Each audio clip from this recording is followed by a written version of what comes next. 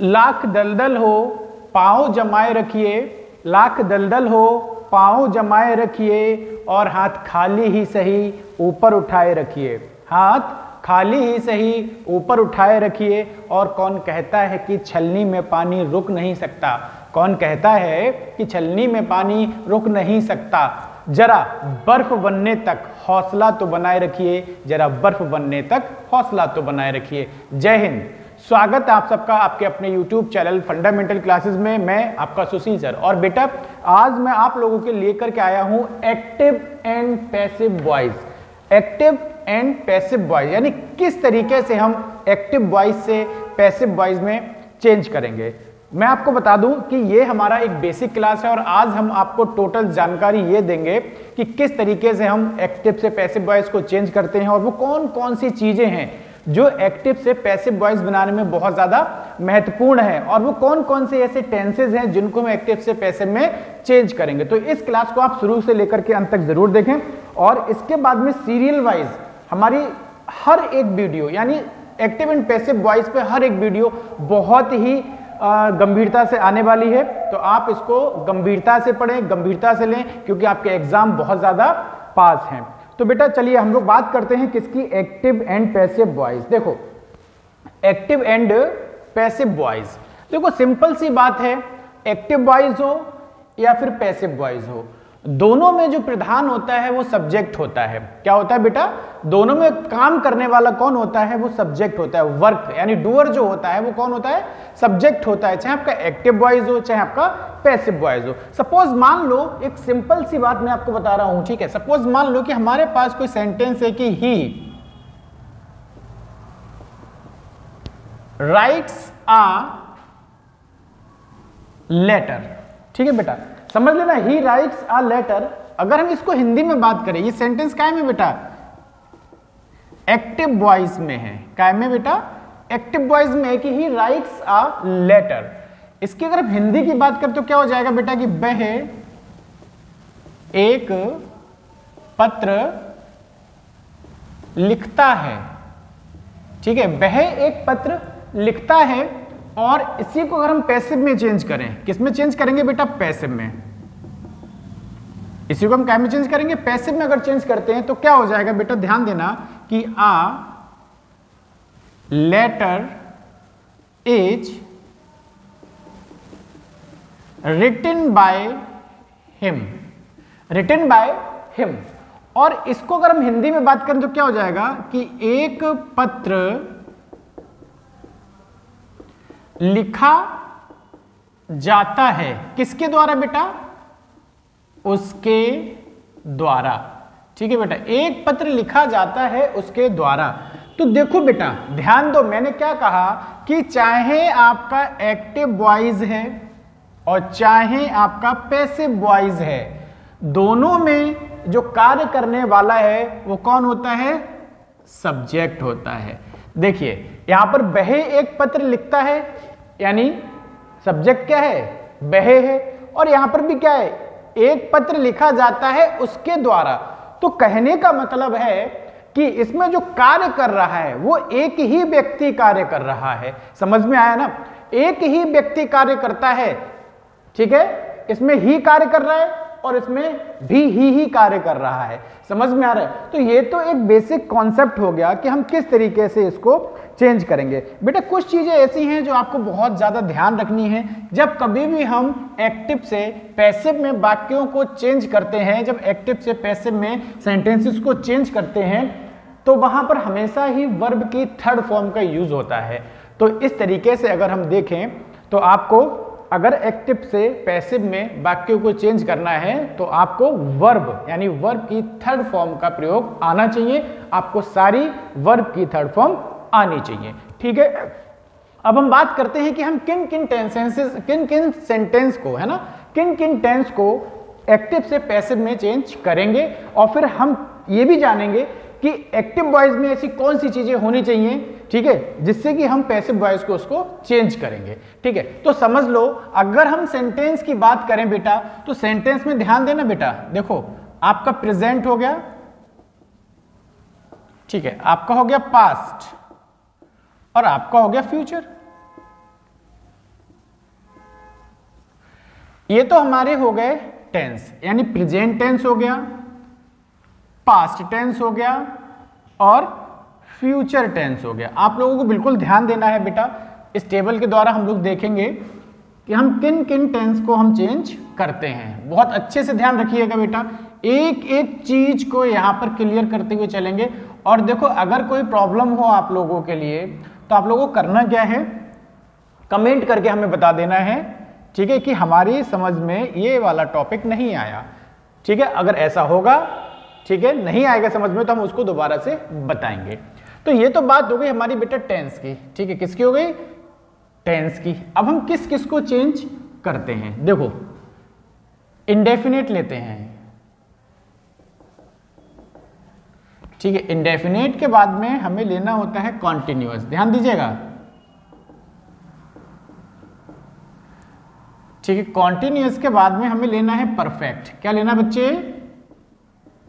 Perfect और perfect के बाद में हमें लेना है परफेक्ट कॉन्टिन्यूस ठीक है बेटा? हमें क्या लेना है? परफेक्ट कॉन्टिन्यूस लेना है। देखो, ध्यान देना बहुत अच्छे से कि बेटा प्रेजेंट का इंडेफिनेट होता है तो उसको तो हम पैसिव में चेंज करते हैं। प्रेजेंट का कॉन्टिन्यूस होता है तो उसको तो हम पैसिव में चेंज करते हैं। और प्रेजेंट का परफेक्ट है तो उसको भी हम पैसिव में चेंज करेंगे। ठीक है? पास्ट के इंडेफिनेट को भी करेंगे, पास्ट के कॉन्टिन्यूस को भी करेंगे, पास्ट के परफेक्ट को भी करेंगे। फ्यूचर के इंडेफिनेट को करेंगे फ्यूचर के परफेक्ट को करेंगे। और बेटा ध्यान दो, हम परफेक्ट कॉन्टिन्यूस किसी का भी होगा, हम उसको चेंज नहीं करेंगे। और फ्यूचर के कॉन्टिन्यूस को भी हम चेंज नहीं करेंगे। तो आप ध्यान दीजिए कि प्रेजेंट का इंडेफिनेट है तो एक्टिव से पैसिव में हम चेंज कर देंगे। प्रेजेंट का कॉन्टिन्यूस है एक्टिव से पैसिव में हम चेंज कर देंगे। प्रेजेंट का परफेक्ट होगा तो एक्टिव से पैसिव में हम चेंज करेंगे और परफेक्ट कॉन्टिन्यूस को हम चेंज नहीं करेंगे। ठीक है, ये तो बात हमारी हो गई कि हम किस किस टेंस को यहाँ पर चेंज करेंगे और किस किस टेंस को हम चेंज नहीं करेंगे, है ना? स्क्रीनशॉट लेते रहा करो और कॉपी पेन निकाल करके बैठो। ठीक है, बेटा, बहुत ही सिंपल और आसान तरीका मैं बता रहा हूँ। यकीन मानो इससे सरल तरीका आपको नहीं मिलेगा। ठीक है, चलिए। अब हम बात करते हैं कि हमें वो कौन कौन सी चीज़ें पता होनी चाहिए, ठीक है, कि जिससे हम टेंस को चेंज कर सकें। तो देखो, मैंने सबसे पहले आपको बताया कि हमारे पास क्या है? प्रेजेंट इंडेफिनेट यदि प्रेजेंट इंडेफिनेट है तो यहाँ पर हम बात करते हैं एक्टिव वॉइस की।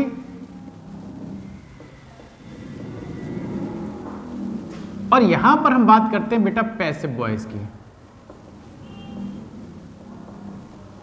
ठीक है हम बात करेंगे एक्टिव वॉइस की और हम बात करेंगे पैसिव वॉइस की। समझते रहिएगा ठीक है? बिल्कुल बेटा अगर कोई टॉपिक आपकी समझ में ना आए कहीं पर भी कोई दिक्कत है तो बेटा तुरंत कमेंट करके हमसे पूछिएगा ठीक है? बिल्कुल तुरंत कर, कमेंट करना और आपके कमेंट का रिप्लाई आपको ज़रूर मिलेगा। ठीक है? अब देखो, यदि प्रेजेंट इंडेफिनिट का सेंटेंस है तो एक्टिव वॉइस में क्या होगा? देखो, या तो बेटा V1 होगा, या फिर V1 में S या ES होगा। ध्यान देना है बेटा, या तो आपका वर्ब की फ़र्स्ट फॉर्म होगी, या फिर वर्ब की फ़र्स्ट फॉर्म में एस और ES होगा। या फिर आपका बेटा क्या होगा? डू होगा, और आपका होगा बेटा डज तो जब ये कंडीशन है, यानी किसी भी ऐसे वाक्य में जिसमें आप क्या देखो कि वर्ब की फ़र्स्ट फॉर्म देखो, या फिर वर्ब की फ़र्स्ट फॉर्म में एस और एस देखो, या फिर डू देखो, या फिर डस देखो। तो आप समझ जाओ कि वो सेंटेंस हमारा प्रेजेंट का इंडेफिनेट है, और यदि आपको पैसे में चेंज करना है तो हमें चेंज क्या करना है? बेटा, हमें ले लेना है वॉज़ या फिर सॉरी यहाँ पर हमें क्या लेना है बेटा? इज़ लेना है आर लेना है, और एम और यहाँ पर आप ध्यान दीजिए हमेशा ही वर्ब की थर्ड फॉर्म का प्रयोग होगा। मैंने आपको बताया कि हमेशा ही वर्ब की थर्ड फॉर्म का प्रयोग हम एक्टिव टू पैसिव में करते हैं। ठीक है? अब आप समझो, अब हम आगे बढ़ते हैं, है ना? अब हम आगे बढ़ते हैं, ठीक है? आगे बढ़ेंगे हम लोग और अब देखो हम बात करेंगे प्रेजेंट के कॉन्टिन्यूस की।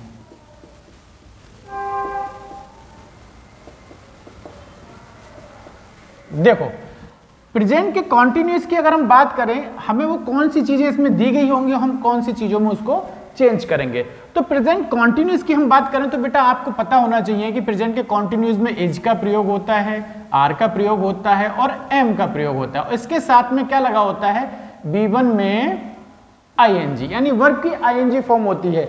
जब कभी भी किसी भी वाक्य में क्या हो इज़ हो आर हो एम हो और आईएनजी फॉर्म है तो हम पैसिव में अगर चेंज करेंगे तो क्या कर देंगे? देखिए इज़ रहेगा आर रहेगा एम रहेगा और देखिए, यहाँ पर हमें एक चीज़ बढ़ानी होती है, वो होती है बीइंग और वर्ब की थर्ड फॉर्म क्या लगेगा? बीइंग लग जाएगा। समझ में आ रहा है ना? बीइंग लग जाएगा और वर्ब की थर्ड फॉर्म का हम यहाँ पर यूज़ करेंगे। ठीक है? अब देखो, अब हम नेक्स्ट पर चलते हैं बेटा। नेक्स्ट हमारा मान लो, हमारा कौन सा हो जाएगा?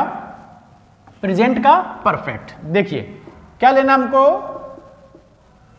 प्रेजेंट का परफेक्ट ठीक है? प्रेजेंट का परफेक्ट यदि है तो देखो यहाँ पर क्या होना है? हैज़ होना है। या फिर क्या होगा बेटा? हैव होगा और बर्ब की थर्ड फॉर्म दी गई होगी यहाँ पर पहले से। ध्यान देना है बेटा आपको, यदि परफेक्ट है, यदि परफेक्ट है तो वहाँ पर आपका हैज़ हो सकता है या फिर हैव हो सकता है और उन दोनों के साथ में ही वर्ब की थर्ड फॉर्म का प्रयोग होता है। तो हम उसको पैसे में चेंज करेंगे तो क्या कर देंगे? देखो हैज़ का हैज़ बीन हो जाएगा, ठीक है, या फिर हैव बीन हो जाएगा और यहाँ पर वर्ब की थर्ड फॉर्म का प्रयोग हम करते हैं। बेटा एक चीज़ और ध्यान दो ये हमें सबसे सरल पड़ जाता है। क्यों पड़ जाता है? क्योंकि यहाँ पर हमें वर्ब की थर्ड फॉर्म कहीं से याद नहीं करनी है। क्यों? क्योंकि हमें यहाँ पर वर्ब की थर्ड फॉर्म पहले से दी गई होती है। ठीक है बेटा? अब देखो, इसके बाद में हम बात करेंगे नेक्स्ट की। और नेक्स्ट हमारा क्या आएगा? इससे पहले मैंने आपको बताया था टेबल के द्वारा। नेक्स्ट हमारा आएगा बेटा past indefinite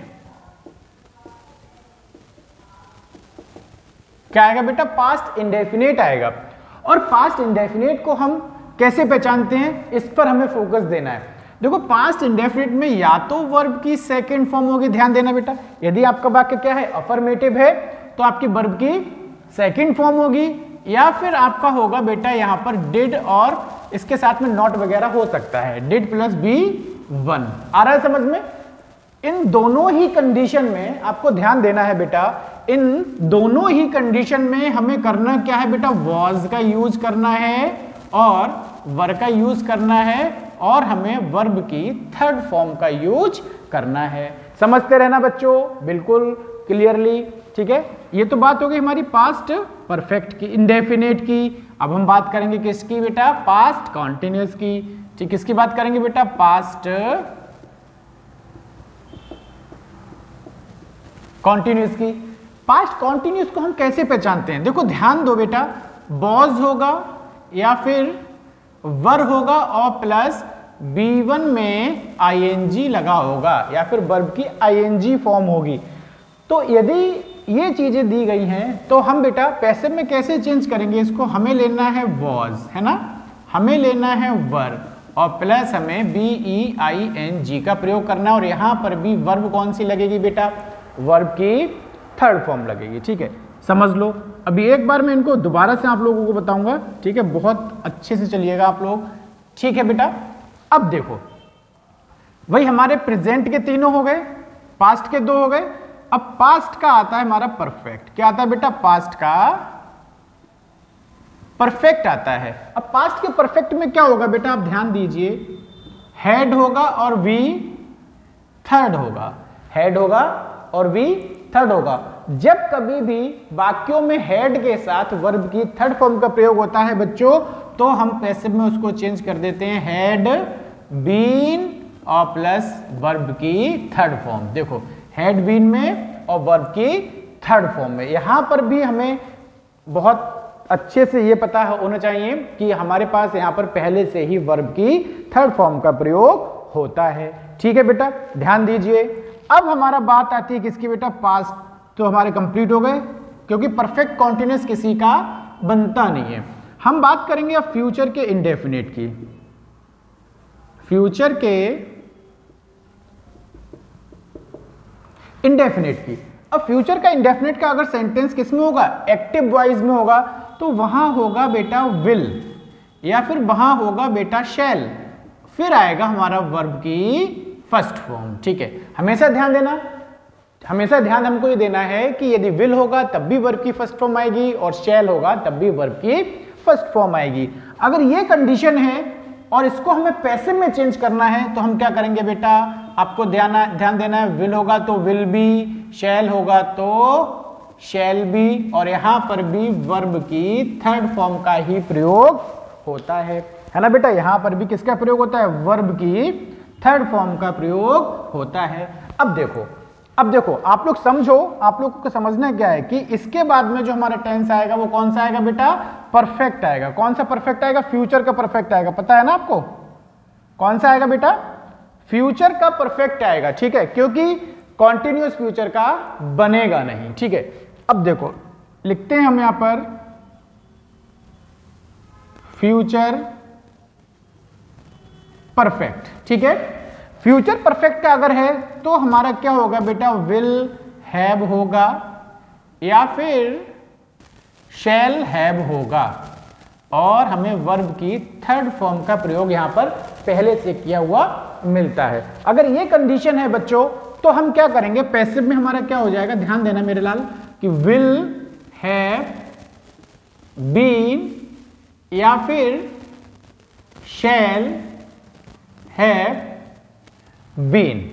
Will have been या फिर शेल हैव बीन का प्रयोग करते हैं और आपको यह बहुत अच्छे से पता है कि यदि हम एक्टिव से पैसे में वाक्यों को चेंज कर रहे हैं तो वहाँ पर हमारी वर्ब की थर्ड फॉर्म का ही प्रयोग होता है। अब बेटा मैं यहाँ पर एक चीज़ फिर से बताऊँ आपको छोटी छोटी चीज़ों पर हमें बिल्कुल ध्यान रखना है। देखो, सिंपल सी बात है कि जब तक हम किसी को पहचानेंगे नहीं, तब तक उसको हम चेंज कैसे कर देंगे? ध्यान देना मेरी बातों को। कि जब तक हम किसी को पहचानेंगे नहीं तो हम उसको चेंज नहीं कर सकते हैं। हम किसी को जानने और पहचानने के बाद ही उसे चेंज करेंगे ना। वो एक सिंपल वे में अगर बात करें कि आपका कोई फ्रेंड है और स्टार्टिंग में आप उसको जानते नहीं हो तो आप उसको चेंज नहीं कर पाओ, क्योंकि उससे बात ही नहीं होगी ना। और इसी प्रकार से आपकी दोस्ती को कुछ ज़्यादा समय हो चुका है आप उसको जानने पहचानने लगे हो तो कहीं ना कहीं आप उसको चेंज कर सकते हो। मेरी बात ध्यान रखना। तो ऐसे ही जब तक हम टेंसेस के बारे में नहीं जानेंगे, ठीक है, जब तक हम उनके बारे में नहीं पहचानेंगे, तब तक उनको हम चेंज नहीं कर पाएँगे। आप बिल्कुल ध्यान दीजिए, ठीक है। फिर से एक बार मैं इन चीज़ को रिपीट कर रहा हूँ कि देखिए, यदि एक्टिव वॉइस में प्रेजेंट इंडेफिनेट का सेंटेंस है तो वर्ब होगी वर्ब में एस और यस होगी, या फिर डूडस होगा। ध्यान देना बच्चों वर्ब होगी फ़र्स्ट फॉर्म या फिर वर्ब की फ़र्स्ट फॉर्म में एस और यस होगा तो हम उसको चेंज करेंगे इज़ आर एम में। जब भी हम पैसे में वाक्य को चेंज करेंगे तो हम वहाँ यूज़ करेंगे इज़ आर एम का। और इसके साथ हमारी लगनी है वर्ब की थर्ड फॉर्म ध्यान देना बच्चों, ठीक है? दूसरी चीज़ प्रेजेंट का कॉन्टिन्यूस का है। तो बेटा, हमें पहले पहचानना बहुत ज़रूरी है कि ये सेंटेंस हमारा प्रेजेंट का कॉन्टिन्यूस का है। और प्रेजेंट के कॉन्टिन्यूस के सेंटेंस को हम कैसे पहचानेंगे, कुछ पता है? भाई, जहाँ पर आपको इस दिखे, जहाँ पर आर दिखे, और जहाँ पर एम दिखे, वह शर्त है कि इनके साथ सब्जेक्ट तो अलग ही अलग होंगे ना। और शर्त यह है कि वर्ब की आईएनजी फॉर्म हो। यानी वर्ब में फॉर्म जो लगी हो, वो आईएनजी फॉर्म लगी हो तो आप बिल्कुल श्योर हो जाओ कि वो सेंटेंस जो है, वो हमारा प्रेजेंट के कॉन्टिन्यूस में है। उसको हम चेंज करेंगे क्या बेटा। इज़ आर एम और आईएनजी हटा के हम क्या करते हैं? B E I N G लगा देते हैं और वर्ब की थर्ड फॉर्म का प्रयोग भी हमें यहाँ पे करना है। समझते रहिएगा, ठीक है? प्रेजेंट परफेक्ट की अगर हम बात करें तो प्रेजेंट परफेक्ट में हैज़ होता है, पहले से लगा हुआ हैव होता है और हैव के साथ में वर्ब की थर्ड फॉर्म आप लोग जानते हो कि प्रेजेंट का परफेक्ट हो या फिर पास्ट का परफेक्ट हो या फिर फ्यूचर का परफेक्ट हो, किसी का भी परफेक्ट है। या फिर हम कह सकते हैं कहीं पर भी हैज़ लगा हो, कहीं पर भी हैव लगा हो, कहीं पर भी हेड लगा हो, या फिर बिल हैव लगा हो शेल हैव लगा हो, बस शर्त यह है कि उसके साथ में कुछ और ना लगा हो। तो वहाँ हमेशा वर्ब की थर्ड फॉर्म का प्रयोग करते हैं, ध्यान देना। भाई देखिए, यहाँ पर हैज़ लगा है हैव लगा है, और वर्ब की थर्ड फॉर्म लगी है, ठीक है ना? थर्ड फॉर्म लगी तो हम क्या करेंगे? हैज़ को हैज़ बीन में, या फिर हैव बीन में, और वर्ब की थर्ड फॉर्म का यूज़ यहाँ पर भी करेंगे। मैंने आपको पहले भी बताया है कि यदि आप पैसिव में वाक्य को चेंज कर रहे हैं, यदि सेंटेंस को आप पैसिव वॉइस में चेंज कर रहे हैं तो आपकी वर्ब की थर्ड फॉर्म का ही प्रयोग होगा। इसलिए आपको थर्ड फॉर्म बहुत अच्छे से तैयार कर लेनी है। ठीक है बेटा? नेक्स्ट आ जाओ। पास्ट इंडेफिनेट पास्ट इंडेफिनेट की अगर हम बात करें बेटा तो उसमें बी सेकंड होगी। यानी बी की सेकंड फॉर्म होगी किसमें? अफर्मेटिव सेंटेंस यदि होगा, है ना? यदि निगेटिव होगा या इंटेरोगेटिव होगा तो डिड के साथ वर्ब की फ़र्स्ट फॉर्म का प्रयोग करते हैं। ठीक है? इस कंडीशन में यदि हमें पैसे में चेंज करना है तो भाई हमने देखा कि हमारे पास वर्ब की सेकंड फॉर्म है तो क्या लगा देना है? वॉज़ वर और वर्ब की थर्ड फॉर्म यदि आपके सेंटेंस में डिट लगा हुआ है डिट के साथ वर्ब की फ़र्स्ट फॉर्म लगी हुई है तो आपको काय में चेंज कर देना? वॉज़ वर और वर्ब की थर्ड फॉर्म में। बच्चा, ध्यान देना पास्ट कॉन्टिन्यूस है हमारा। पास्ट कॉन्टिन्यूस यदि है तो क्या होगा? वॉज़ होगा वर होगा बी वन प्लस आई होगा।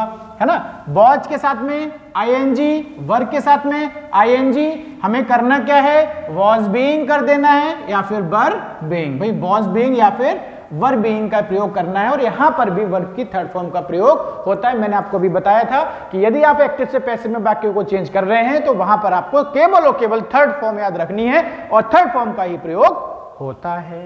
राइट अब देखो, फिर आता है पास्ट परफेक्ट परफेक्ट मैंने आपको बताया हेड होगा और हेड के साथ में वर्ब की थर्ड फॉर्म होगी। जब कभी भी ये कंडीशन देखो आप तो हेड के साथ बीन लगा दो। हेड बीन लगा दो और वर्ब की थर्ड फॉर्म का प्रयोग कर दो। फिर बेटा बात करते हैं फ्यूचर इंडेफिनिट की। फ्यूचर इंडेफिनिट में क्या होगा बेटा? विल होगा शेल होगा और वी वन होगी। ध्यान देना मेरे लाल। विल होगा शेल होगा और वी वन होगी। तो इस कंडीशन में हमें क्या करना? विल के साथ में बी का यूज़ करेंगे शेल के साथ में शेल का। बी का यूज़ करेंगे और यहाँ पर भी वर्ब कौन सी लगेगी? थर्ड फॉर्म लगेगी। फिर हमारा फ्यूचर परफेक्ट आता है। विल हैव होगा या फिर शेल हैव होगा, इनके साथ वर्ब की थर्ड फॉर्म होगी। और हमें यदि पैसे में वाक्यों को चेंज करना है तो हम क्या करेंगे? विल हैव बीन या फिर शेल हैव बीन और वर्ब की थर्ड फॉर्म का प्रयोग करते हैं। ध्यान देना बेटा, ठीक है? अब समझो। इसके बाद में कुछ सेंटेंस हमारे, कुछ ऐसी चीज़ें होती हैं, जैसे मॉडल्स होती हैं तो उनको हम कैसे चेंज करेंगे, है ना? कुछ मॉडल वर्ब होती है, उनको हम कैसे चेंज करेंगे? भाई विल और शेल तो हमने यूज़ कर ली बच्चों। है ना? विल और शेल का तो यूज़ हमने अच्छे से कर लिया है, ध्यान देना। है ना बच्चा? अब हम अगर चेंज करेंगे, कुछ मॉडल्स होती हैं मॉडल वर्ब को हम किस तरीके से चेंज करेंगे, ये भी टॉपिक आप लोग देख लो। ठीक है? सपोज़ मान लो आपका कैन है। किसमें? एक्टिव वॉइस में कैन है तो पैसिव वॉइस में आपका हो जाएगा बेटा कैन बी ठीक है? यदि आपका मे है तो आपका हो जाएगा बेटा मे बी यदि आपका होता है बुड तो आपका हो जाएगा बेटा वुड बी ठीक है। यदि आपका है शुड तो आपका हो जाएगा बेटा यहाँ पर शुड बी ये कुछ चेंजेस और हैं एक्टिव टू पैसिव में चेंज करने के लिए। समझ में आ रहा है? एक्टिव से पैसिव में चेंज करने के लिए, ठीक है? तो बस ये हमारा एक बेसिक क्लास हो गया है और इस बेसिक क्लास को आप लोगों को बहुत अच्छे से एक बार रिवाइज कर लेना है, क्योंकि इसके बाद में हम सीरियल वाइज एक के बाद एक एक्टिव टू पैसिव की वीडियोस लेकर के आएँगे, ठीक है? तो मिलेंगे हम लोग नेक्स्ट क्लास में, तब तक के लिए जय हिंद, जय भारत।